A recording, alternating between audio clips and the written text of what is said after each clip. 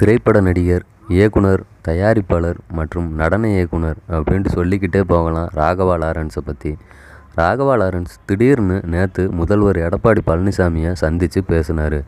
அப்போ சுகாதாரத்துறை அமைச்சர் விஜயபாஸ்கரும் கூட இருந்தார். இந்த சந்திப்பு பற்றி லாரன்ஸ் தரப்பில் என்ன சொல்லியிருக்காங்க அப்படின்னு பார்த்தா லாரன்ஸ் முதல்வரை சந்தித்ததில் எந்த உள்நோக்கமும் இல்லை.